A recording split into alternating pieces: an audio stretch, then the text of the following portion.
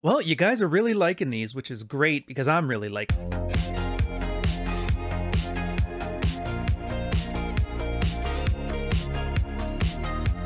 Welcome to another episode of Pook. We're going through, I don't know what we're on now, like chapter 47 or something like that. There's like 70 in this thing, but we'll start off with why Let's Just Be Friends on Mystery, Patience, What Truly Makes a Don Juan, Ooh La La, Second Life, re selfishness, life changing decisions, etc., and securities versus mistakes.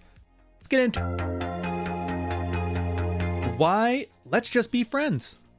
Starting off with the quote here She thought of him like a brother because he acted like a brother. Going out of your way to do things for her in a non sexual relationship context is what her brother would do.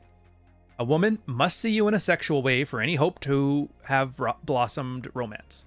Uh, this guy Wildfire uses being worthy to date since women will never admit that they are wholly sexual beings, they just express it in that way. The nice guy is going after the girl in some bizarre friendship way. So when you become friends with a chick, it doesn't mean nothing can happen.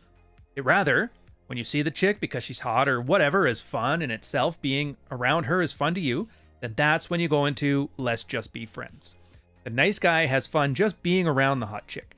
Don Juan has fun things that he's doing with the hot chick. And that's the difference. This section's good because, I mean, every guy has had this problem. I had my problem with this when I was younger too. You start like walking up to a girl and you act friendly. You talk to her since you've never really had maybe the strongest friendships with guys or you haven't really had like strong networks. You think to approach girls the same way you'd approach guys. Like, I want to make a friend, so I just say friendly things. But then once you're in that box, she like wires her brain. I don't know how girls do it with their magic. And they see you as a friend. They see you as a brother. He kind of mentions this anywhere with this like fictional example, which it, if it doesn't resonate with you, then you just haven't talked to enough girls, or you married your high school sweetheart, in which case, good for you. Why the hell are you here? Are you not happy? Just saying. The point is, you, and I think the whole trick of learning how to be more attractive, especially for introverts, is you learn how to start acting as opposed to saying. You don't just say, hey, nice shoes, you want to smash, or hey, I think you're attractive. I would totally love to do you sometime. Let's have some conversation to kill the time. It doesn't really work. It comes off as socially artistic, and you're not going to like it. In this case, what you're doing is you're still having those same casual conversations, but because of the way your body language goes, because of the way your internal confidence goes, they called it inner game back in the day. You're seeking to express that you're romantically interested in a girl, but at the same time, you're talking about very mundane things. It's a concept called plausible deniability, and if you have not become familiar with it, you really do need to start. Thing, not the pickup artist. Uh, most people are static. Year from now, they'll probably look the same, act the same, and be the same. But if you're in a state of flux, easily done through a self improvement or self discovery, every slot they try to stick you in will fail. Anti-Dump, again, very popular guy from around the time in the So Suave stuff, back when Rollo was just like a pleasant little forum poster. Uh, Anti-Dump advised shy guys to use their quietness as an advantage, not give themselves away. Terminator 911 and these 2000 phrases are awesome. use the phrase, the less she knows, the more she wants to know. Now, these two were responding to how many guys turn their dates into Oprah and tell their pathetic life stories. So you don't withhold information, you make her work to get it out of you. You are not to dictate your autobiography to her, but you're constantly changing. So after she's dug up a layer, the mountain's pushed up three layers higher. She and you are never bored, and the both of you are closer to the stars. Flowery language, but I get what he's going at here. Um, I have been blessed in my life where I've had nonstop adventure. I blame the ADHD where I constantly got very annoyed. I've probably moved a dozen times to half the half the provinces in Canada in as many years. Everything I've noticed is that uh, it's very easy for me to give icebreakers because I'll be able to tell some random stories, you know, stuff that's happened over to me. That's it may not be the most cool thing that you've ever seen. It may not be the best story, but there's so many different ones. They all kind of just make an interesting thing. Like I remember when I was in Montreal, a friend of mine, she had took me to this group of friends hers, like instructors, university professors, that kind of stuff. And we're telling some stories, and I was telling a lot of the stories that you'll see in my book, Fuccfiles, which is in the description, by the way. Go check it out on Amazon. And the guy's like, you know what? I think I believe about half of what you're saying. I'm pretty sure you're I'm pretty sure you're making this stuff up, which was hilarious because I would actually hold back because people just found a lot of the goofy stuff we did was just so ridiculous that it's just not worthwhile. Luckily, she was there. She's like, no, I've been around these boys for years and this is all they talk about. So, but that's the thing. I don't lead with all of these stories because I have too many because I've done things and it's not hard for you to do things. Just do things. The internet is around, cheap travel's around, and I get it. COVID's kind of making it hard if you're watching this a couple years after the fact. I tell you a story someday about how you're not allowed to travel unless you get injected three times and wear a mask, but whatever. Go, be interesting, be fun, do more things, make more stories, but don't give it away. It took you years to earn this stuff. And so when a girl's just trying to get to know you, make her work for it. Girls love puzzles. They love mysteries. There's a reason why the Netflix documentary about the serial killer is 12 episodes long when you can just say, hey, just so you know, he did it and they caught him, but it took a while and he killed three more chicks. That's no fun. You got to stretch that stuff out over 12 hours of maybe he did, maybe he did. Has to do with patience. These guys failed because they came on entirely too strong, too fast. After a couple dates, they wanted to marry the person. Though they were smooth, they couldn't hold back their desire for a girlfriend. Their woman sensed this and recoiled from them instantly. Women, on initial dates, simply just want to have fun, have a good time. Men can throw too much attention, too soon, too fast, and scare the woman off. But women find this as desperation is the ultimate turnoff with them. So have fun with the woman. Don't take your outings too seriously. A woman must feel comfortable and secure with you before intimacy can begin. The key to her feeling comfortable and secure is by having fun with you. I would I want to take this in a bit of a different direction, but I found over the years, Red Pill's kind of picked up on this stuff, is guys have completely ridiculous takes when it comes to what's owed to somebody else in a relationship. And I know we don't men aren't entitled to anything. It's not what I'm talking about. So I'm like, what they think the rules are. So, for example, a guy will come into the old married red pill subreddit and he would talk about he's dating this girl for three months and then she did some weird stuff. Should I use the Muse Mastery or act like the Oak or do like this? And guys are like, dude, you've been dating a girl 90 days. Like, I have food in my fridge longer than that. Ditch her. If she's not invested you in the first 90 days, it's like she's telling you all you need to know. She's just there for some quick fun and then to move on. She's not yours. It's just your turn. And guys get ridiculous about this. I've been dating this girl for a while now. Look, here's the way responsibility works in a relationship. And you can thank, I think this is one of the few things you can thank feminism for. They have essentially eroded all the responsibilities for women while adding all the benefits. In a marriage, why wouldn't you, like, you can cheat if you want to, but why? What's the consequence of you doing it? You get caught, doesn't matter. There's no infidelity walls. They're not on the books. The church won't get mad. In fact, I've seen churches take the girl's side on it. So go figure on that one. It's not the case that your friends will get mad. A lot of the times they're like, they look at you and like, well, what did you do to make her want to cheat? You see examples of that everywhere. So if you think a marriage of, let's say, 15 years, two kids in a house has nothing in the way of responsibility like that, what makes you think a girlfriend of like a few months is going to be held to any standard of honor as much as you're seeing it. It's like, dude, if you haven't been dating her for at least a year, you should expect nothing but the most thoughtish behavior. And I'm saying this from personal experience, not just me, but a lot of the other mods. We've used to have talks about this stuff all the time. That how did you end up finding your eventual uh, girlfriend or wife? And it was all the same story. We dated for like a year, wasn't exclusively dating, and I just kept looking for a reason to ditch her, and she just wouldn't give me one over an entire year. And then we just ended up together. Literally, you know, it just happened. Here's the funny thing I'm sure you've heard the term women are the gatekeepers of sex and men are the gatekeepers of relationships. Well, you know how often you hear that little story, you know, women just kind of went out, had some fun, and then the sex just happened, and that's why they cheated and they didn't, it's not their fault. Well, in the same way for them, it literally just happened. As a guy, for a relationship, it should almost just happen for you too. And then once you get that moment, and every guy with a good woman's probably had it, you'll start to realize that it just happened. I get it. The women would prefer talking to anybody than be alone. So she'll be receptive to you talking to her. But how you display your interest? With a sonnet? With a pickup line? It's like, no. Keep talking to her, but channel your interest through your eyes. And then he has a bit of things here about channels, and I would suggest giving it a read because he talks about girls as if they're a bosom filled with the milk of whatever. It's flowery language. I'm not going to lie to you here. I wouldn't read it out here because it's cringe as hell. But basically, the first channel's eye contact, the second channel is asking about her, and the third channel is touch. And I love these ones because it's uh when he talks about it, it's literally the kind of stuff you would see in like the old London day game model or the mystery method or the day bang from Roosh and all that stuff. Guys just systemize these three key points into into more learner friendly methods. That's why I always like the Bruce Lee quote for this one. Like when I first started in art, a kick was just a kick and a punch was just a punch. And then then I was studying the art, a kick's no longer a kick, a punch is no longer a punch. And now that I've mastered the art, a kick is just a kick and a punch is just a punch. So same thing. All these routines are for guys that don't know how to do this stuff naturally or never picked up the skills. And so they kind of systemize it like training wheels, but then once you learn it, you're able to just throw it away.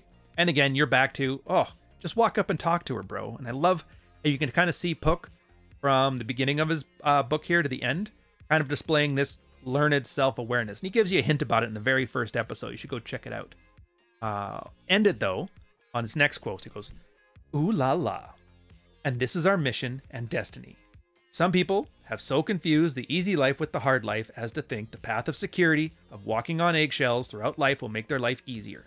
But it is when you throw yourself into the fire that you learn everything. But go throw yourself in the fire. Just don't do it to light light yourself on fire to keep others warm. Charles Bukowski, Jordan Peterson, Neil Strauss. I like these guys. Add some salt to cover up the bitterness of middle aged soccer moms and put in the oven for 45 minutes. Optionally, you can take from all this stuff what you want and leave the rest. Starts off with change is hard. Being a nice guy is the easiest thing to do, but in the end, nice guy is a trap. Trap of being in the womb of security like nice guys keep running into. Teen is easy. Change or something new, this is hard. Take your lifelong habits and alter them, it takes some pain. It will be the pain of shrugging off your old life.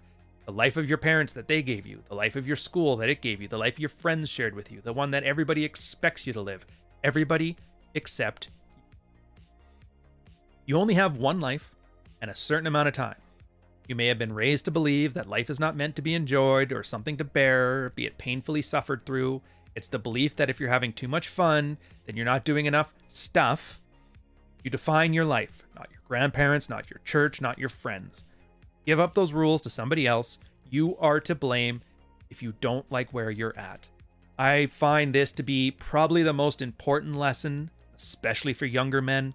It's the hardest one to articulate, and it really I swear to God, you just need to have a guy zeroed out before he even understands this. Like, it takes a real.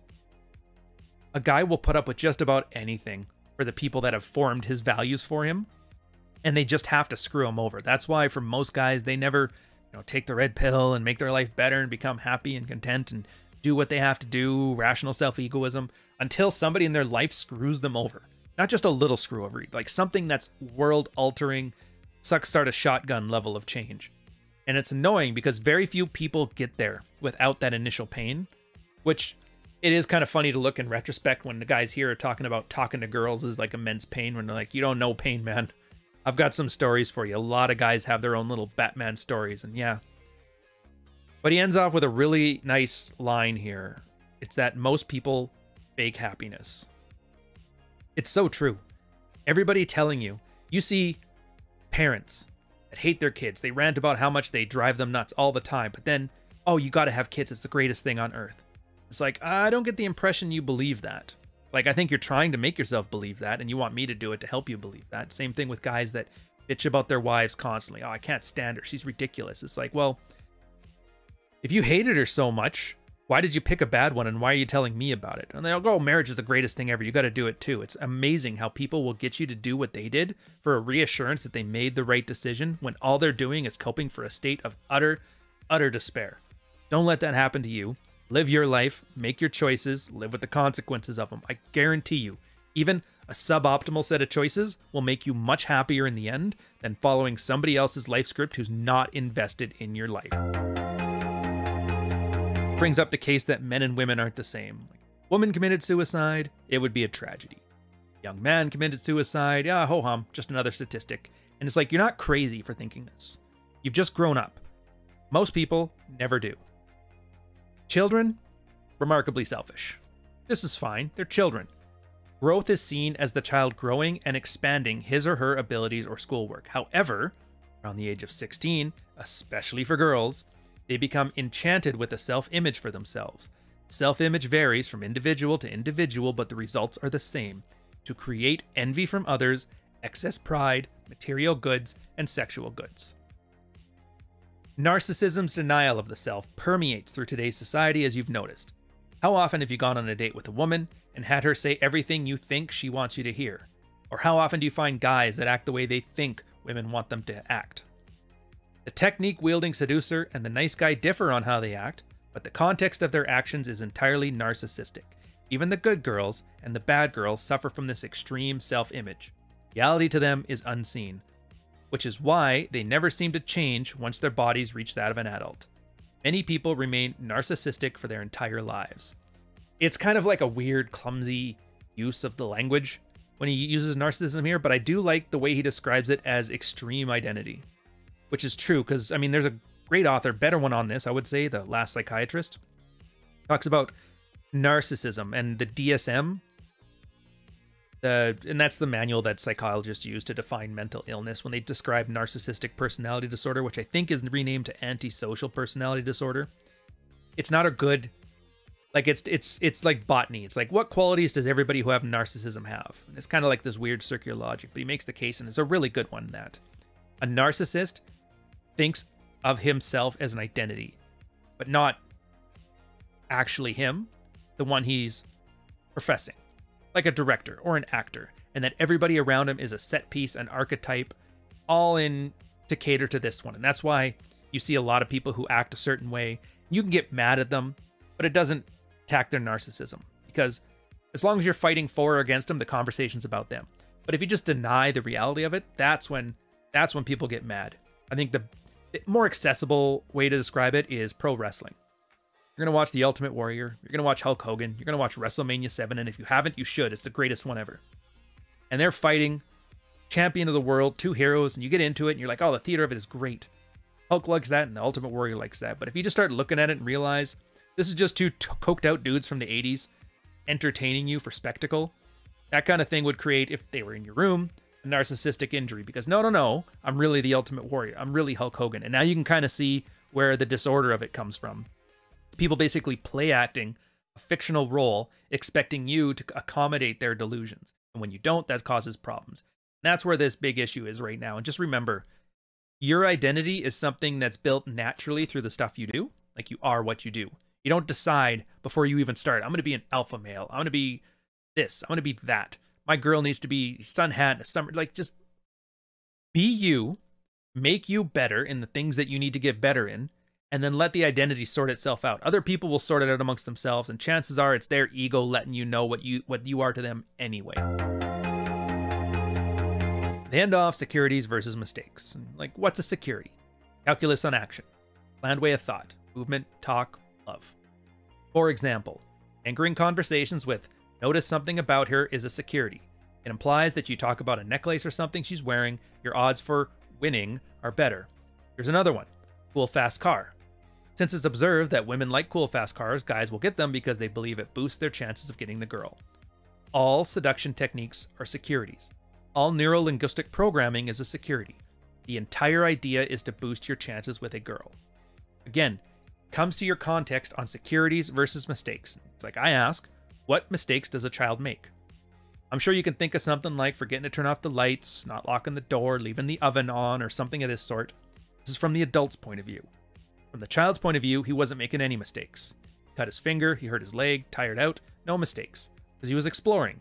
Every child likes to explore. There is so much in life to see. Child instinctively knows this. But we somehow overpower this when we get older. You say something wrong with a woman and she leaves, you think you made a mistake and you feel bad.